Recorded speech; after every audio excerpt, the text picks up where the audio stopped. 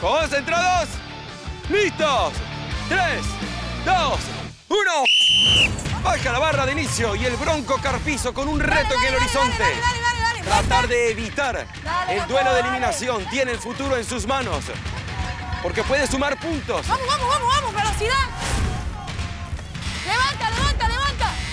Vamos, vamos, vamos, vamos, vamos. Al único atleta rojo al cual no le ha ganado desde que llegó a la competencia es a Jacobo García.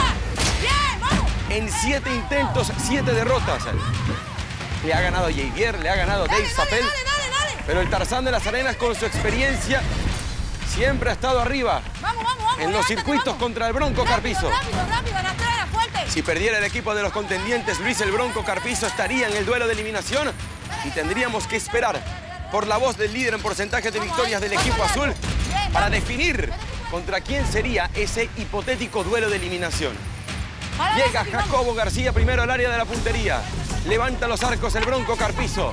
Comienza a lanzar Jacobo García. Brazo derecho y ya derriba un tótem. Vamos, segura, segura. Llega el jugador de fútbol americano colegial, modelo fitness. Aquí está el mexicano, Más para el lado. presentando batalla. Derriba y están iguales. Derriba el Bronco, derriba con un solo disparo, dos tótems. Jacobo García, le quedan dos al Bronco, le queda uno a Jacobo. Falla por la victoria. Falla Jacobo.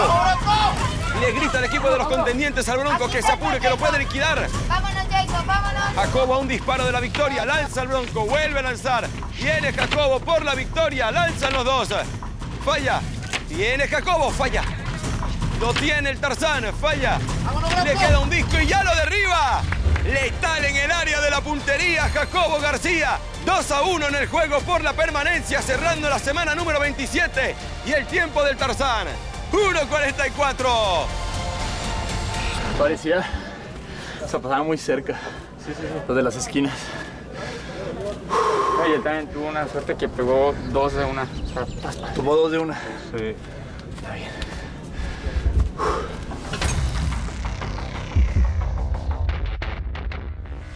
Se movían. Diagonal, iban con dirección. En el aire, boom, la- el disco se, se viraba.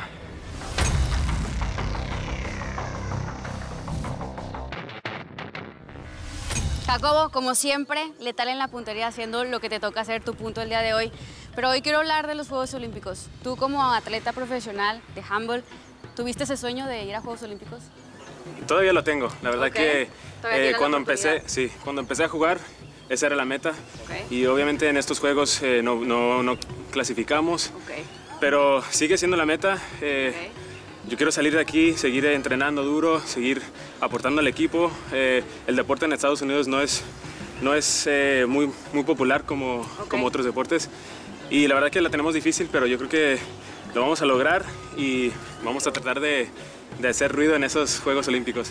Yo no, yo no tengo duda de que puedas lograrlo, Jacobo. Siempre has se- sido muy determinado en lo que quieres y en lo que buscas y no dudo de tus capacidades.